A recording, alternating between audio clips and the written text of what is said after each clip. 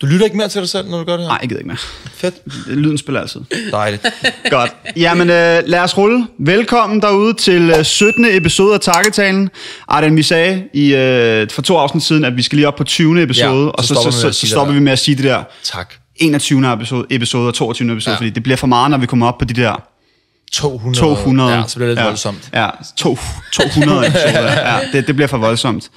Øhm, vi sidder her i dag med et tredje led igen. Ja. Vi er gode til at holde fast i den tradition. Det synes jeg er mega fedt. Og det er takket øh, være Lauke den her gang. Er det takket være Lauke? Det er Lauke, der sendte os øh, opslaget. Nå, nå det er det er rigtigt, ja. Det er rigtigt, ja. ja. Og, så, og så bliver den jo så øh, øh, ja, givet videre til dig. Ja. Og det er så dig, der kontakter. Jeg står for gæsterne, nemlig ja, herinde. det er Så, så, øh, contact manager. Ja, det er Fedt. Sådan. Ja, fedt. Og det tredje led, vi har med i dag, det er dig, Jalal. Yes. Velkommen. Tak for det. Jalal, du sidder her i dag, øh, fordi, ja, som Martin sagde, Lauke øh, spottede dig i en øh, DR3 dokumentar, er det vel? En- som, øh, lille som, øh, ja. som hedder Macho. Yes. Og til jer, der sidder ude, derude og lytter, som, øh, som ikke har set den, øh, så findes den altså på DR3 og bare hedder Macho. Må du, kan du måske forklare os, hvad det er? Altså, hvad er, Ja. bare meget kort, ved Ja. ikke om, Ja. hvad er macho? Hvad er macho? Jamen, jeg synes match, altså jeg ved ikke, hvor meget jeg vil fortælle, fordi jeg synes, man skal se den. Ja, helt jeg vil ikke røbe for meget, øh, men den handler om mig, mit liv, mine Ja. ja. kampe øh, og min kæreste Mie. Øh, og de kampe, jeg har stået overfor øh, som en minoritet, en minoritet. Ja. Øh, ja, så meget vil, vil jeg fortælle, fordi jeg, jeg synes, man skal gå ind og se den, uden Ja. at røbe for meget. Ja. Helt klart. Og øh, Macho-dokumentaren bygger jo på, at du helt faktuelt er transkønnet. Yes. Ja, du er gået fra øh, hvad hedder det, kvinde til mand. Yes. Yes. Og øh, jeg sagde lige til Arden, inden vi gik i gang, og også til dig, Jalal, at jeg kan ikke komme i tanke om i Takketagens historie, at øh, den store historie, vi har haft øh, med 17 episoder, hold op, øh, at vi har haft et større tabu på, på bordet. Ja, det er ret vildt det her. Ja. Ja. Men det har vi ikke haft. Også sådan, jeg, jamen, jeg vil hellere faktisk bare spørge dig, hvordan har det været? Fordi du har været en kvinde før, og vi kommer til at spørge meget sådan, som om vi er dumme, men det vil vi gerne gøre, mm, for så ja. alle kan forstå, fordi Klart. det er ikke alle, der ved, hvad det her er. Undskyld, der er ikke nogen, der er dumme. Nej, men dumme spørgsmål, det er de bedste.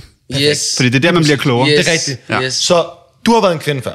Yes. Og hvad, hvad var dit navn? Dalal. Dalal. Yes. Så nu er det Jalal. Dalal til Jalal. Fedt. Yes. Hvordan var det? Hvordan, altså, hvad skete der?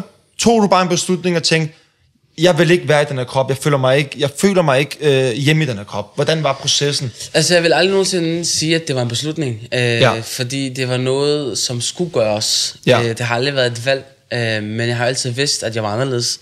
Jeg har altid vidst, at der var noget i vejen med mig. Mm. Men jeg har ikke kunne sætte ord på det. Også fordi, at jeg har arabiske rødder. Ja. Så det er ikke noget, man taler om. Og jeg er Nej. også fra Gellerup Parken. Øh, Endnu sværere så. Ja, Ja. det var ikke noget, man talte om, og jeg vidste ikke engang, der var noget, der hed at være transkønnet. Øh, men jeg har vidst, at jeg var anderledes, siden jeg gik i børnehaven.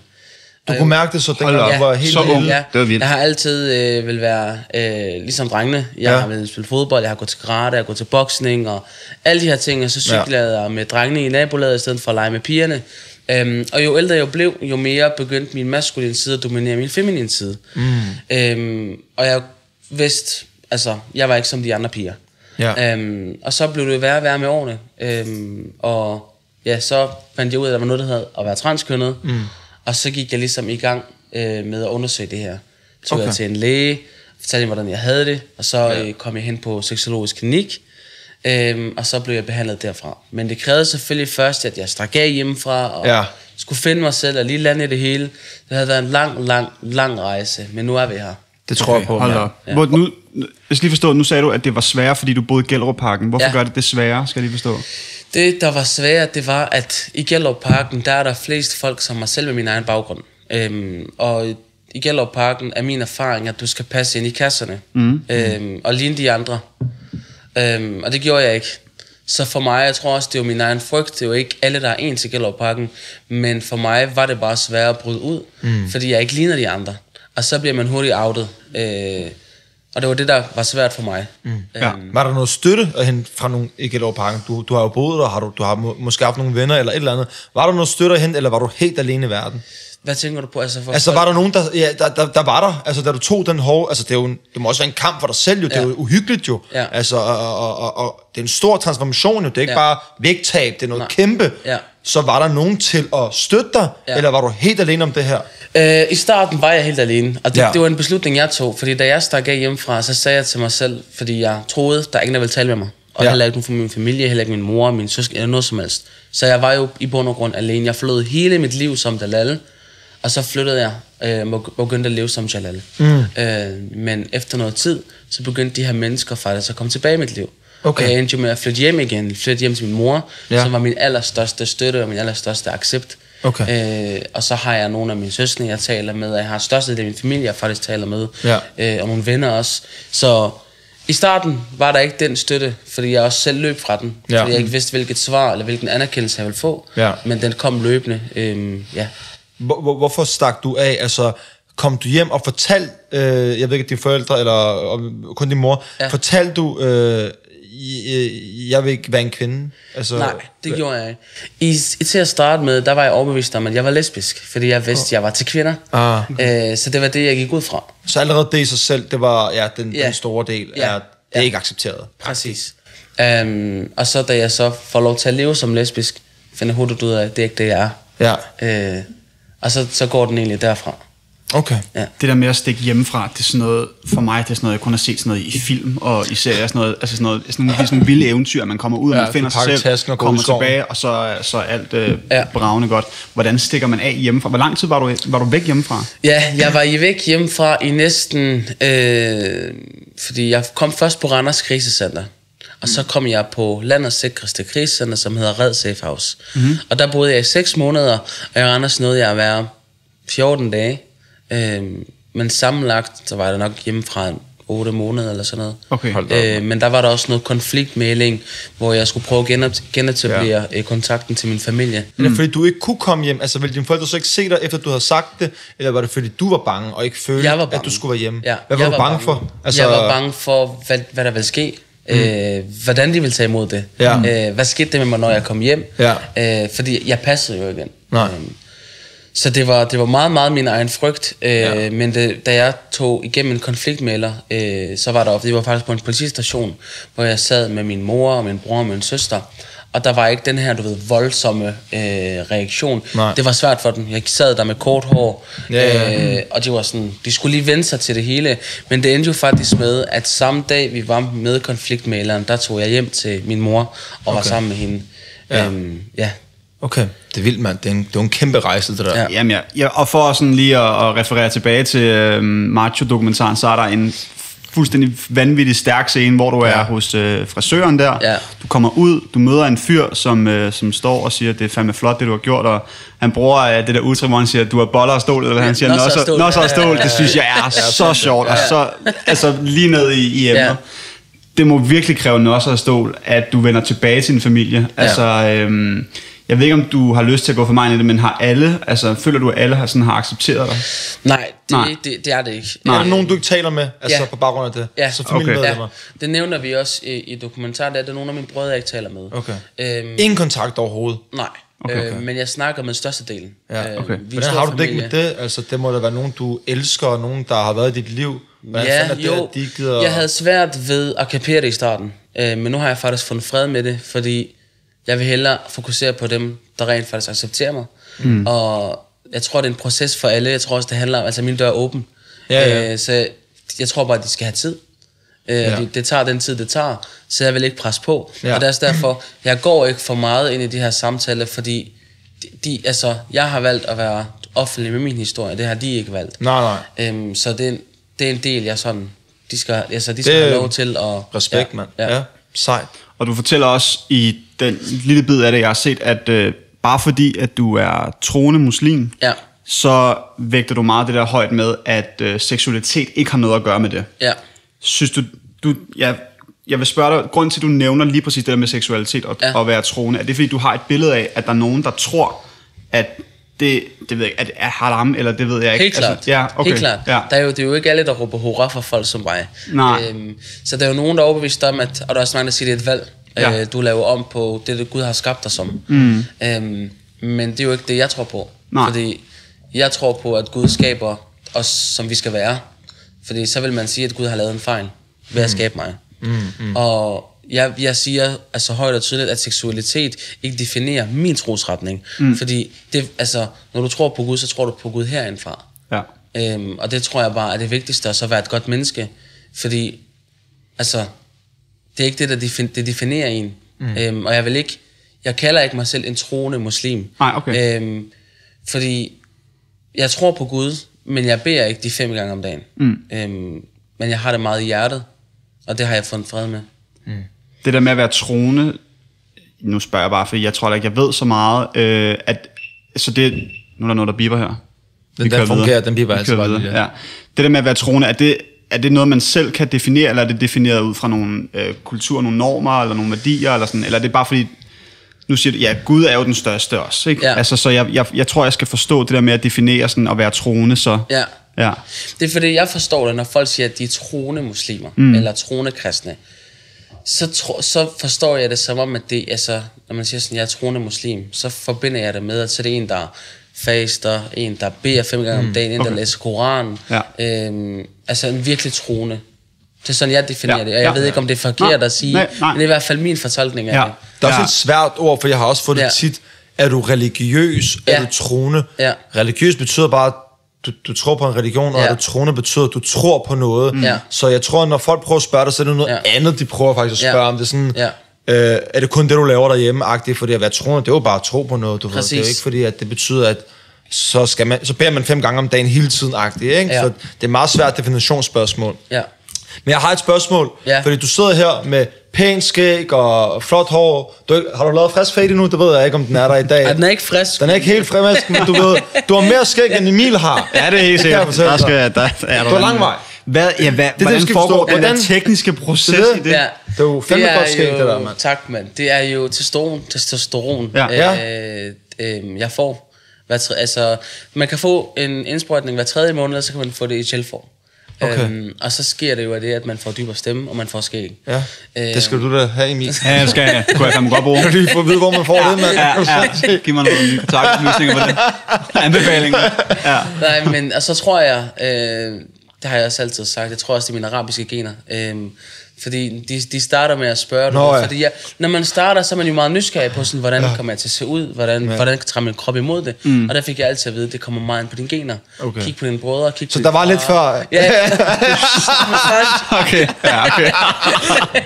Ja, okay. Nå, ja. Der var allerede lidt, du ved, det groede bare lidt mere. Fuck, det er sjovt. Ej. Okay, fedt. Hvad hedder det, drenge? Tag lige en uh, drikkepause. Ja. Øh, vi skal lige huske at sige, at uh, Takketagen stadigvæk er præsenteret og betalt af BookBeat. BookBeat, det er en uh, streamingtjeneste for e- og lydbøger. Og uh, de har været så gavmild at give uh, jer lytter derude 6 ugers gratis uh, lyt og læsning. Mm. Um, og det kan I få ved at bruge rabatkoden takketalen på bookbeat.dk-takketalen.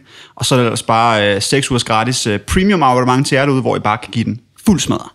Det synes jeg bare, I skal, Skal gøre derude. sig jo. Og Jalal, læser du egentlig? Nej. Du lytter, nej.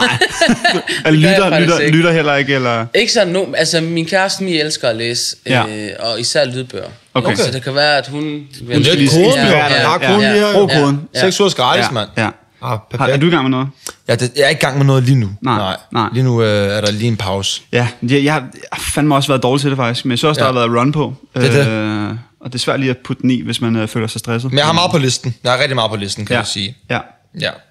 Og øh, Jella, jeg ved ikke, altså jeg tror ikke, at jeg har forstået sådan, din sådan, profession. Hvad, Jeg vil arbejde hvad, med. hvad arbejder du med? Godt spørgsmål. Hvad, Hvad laver, arbejder ja, du hvad, med? laver, laver du Ja. noget her? Øh, ja. ja. Udover at være Ja. travl og, macho og, og og penge. Ja, me- jeg er medierne. bare macho, Ja. full-time macho. øh, nej, jeg er fuld i gang med min stand-up-karriere. Øh, Jeg er lige blevet færdig med at arbejde som vagt. Stand up. Stand-up. Nej, hvor fedt. Nå, komiker. Ja, Åh, da. sindssygt. Yeah. Det vidste jeg jo ikke. Altså, Jo, jo, jo, jo, jo. Det er jeg fuld i Kan gang få nogle jokes? Ja, sig joke. Det er det værste spørgsmål, en komiker kan få. Sig din joke. Ja. Tag, spil lige skuespil, mand. Ja. Nå, okay, Øhm, fedt. Ja, så det, der har jeg fuld fokus på. Det er sådan det, jeg gerne vil leve af. Øhm, Okay.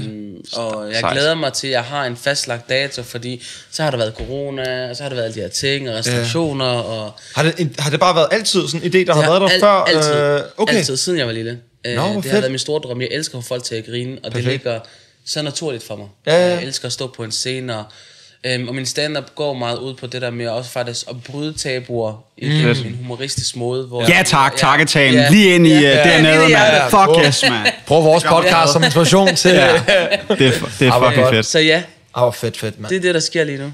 Hvordan har det påvirket... Hov, Hov. hov, så. Har du et godt spørgsmål? Nej, du starter bare. Hvordan har det påvirket dig, at du har været til offentlig skue, altså på DR3, mm. med en dokumentar, der hedder Macho, mm. det om dit liv. Hvordan har det været dejligt pludselig at gå på gaden? Nu er det ikke bare dig og dine nærmeste, der ved det. Nu er det hele Danmark. Ja. Det, øh, ja, det, det er noget, jeg lige skal vende mig til. Ja. Øhm, jeg tror også, det, det, det stadigvæk er noget, jeg vender mig til. Øh, lige i starten, der var det bare sådan, hvis jeg skulle over og købe smøg i 7-Eleven, så var jeg sådan, oh shit, du ved, fordi mm. nogen kigger jo bare, måske bare og synes, din, fed, din sko er fed, eller din jakke Ja, ja, fed, ja, men jeg men forbinder du det. tror om- alt muligt andet, ja, ja, ja. "Nå, ved de, og, Ja. men, jeg, men jeg har fred med det, øhm, og, og, og der er faktisk nogle folk, der stopper mig op nogle gange og siger, kæft, hvor er du sej, jeg er en fed Ja, ja. dokumentar, og så det er, det er meget befriende faktisk. Mm. Men det er noget, man lige skal vende sig til. Øhm, Og det var også en af mine store overvejelser, da vi gik i gang med at lave dokumentaren. Det var, jamen, lige nu kan jeg sidde på en café og bare være Jalal. Ja, ja. Øh, nu bliver der pludselig kastet et label på mig. ja. Øhm, Har der været noget negativt? Har du oplevet noget, hvor nogen er sådan...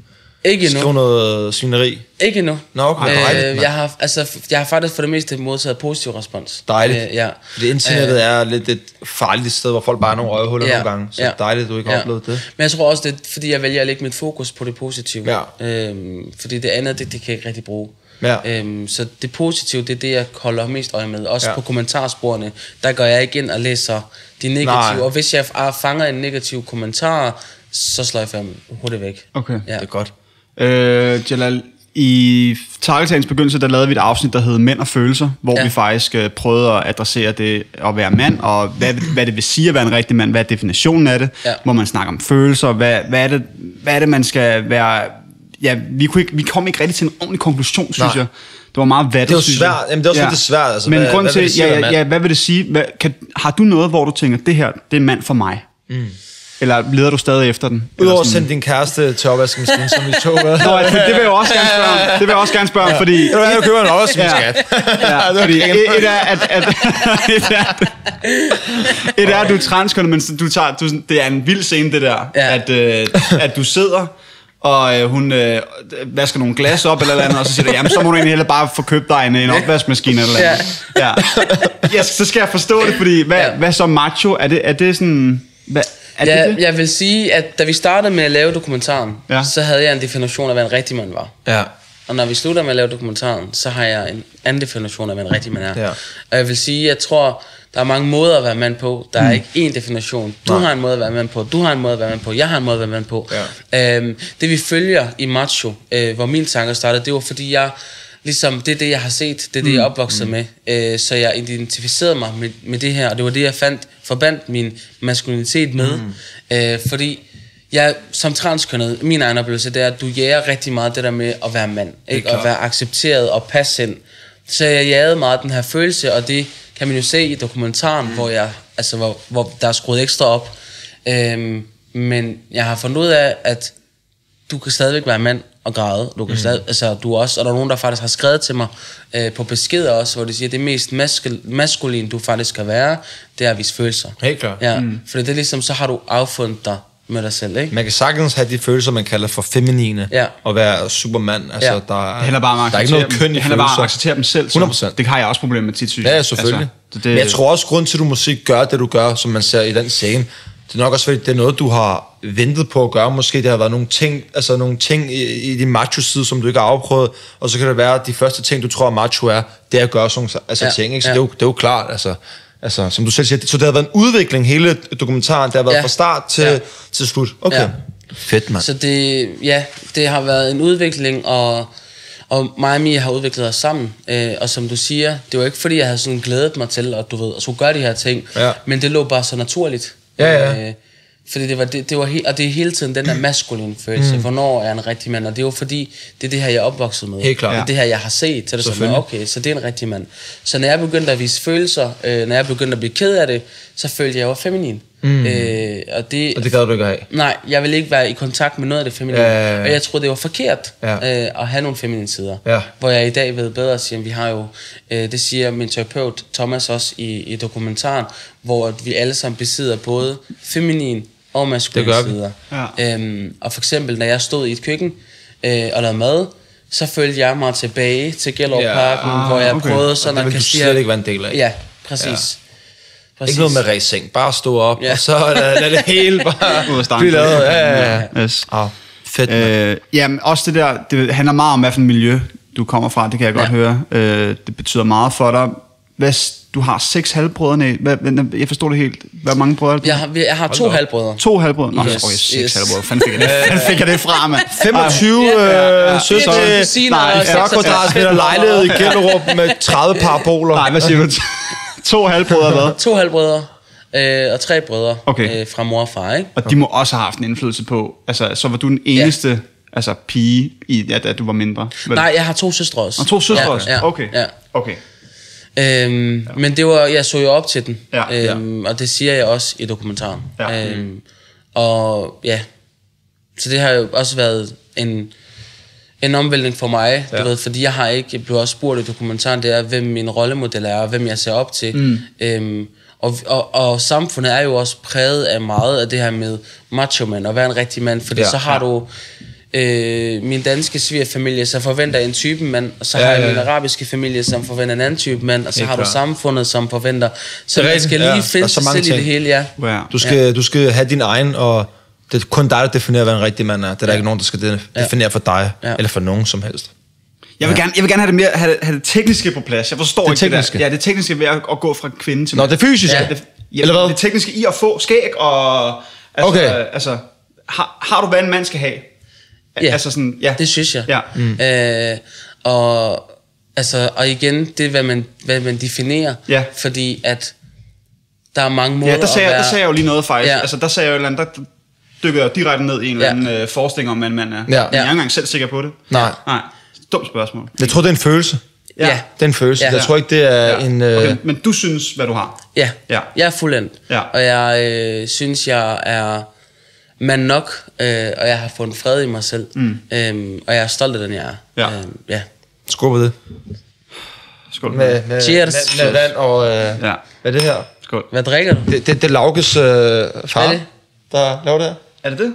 Det er det da. Nå. Er det ikke det? Ja, det er det jo så.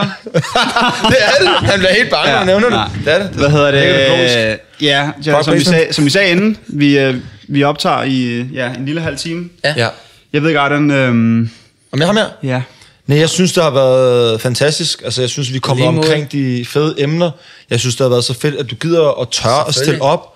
Øh, jeg vil ønske ham, der ikke sagde det der. Så kunne vi sige det, mand. At han er også har stål. Det er sådan, fuck, tog ja, mand. ja. Jeg har helt Det er enkelt prøvet at tænke, du kan ikke komme på noget, så Ja. kommer Ja. kun de der. Nej. Der er ikke noget fedt at sige. Men udover, altså, tusind tak, for du gider at være her. Det er Og jeg- at være her. Dejligt. Og Jeg er jeg, håber at bare, at du møder glæde i livet. Og, Tusind tak. og ja, kun at det går der nemt i hvert fald. Tusind tak. Og jeg synes, det er et, det, det, det vildeste statement, jeg kan sådan komme i tanke om, du sender ud nu. Altså Ja. den her match. Jeg synes virkelig, det er modigt.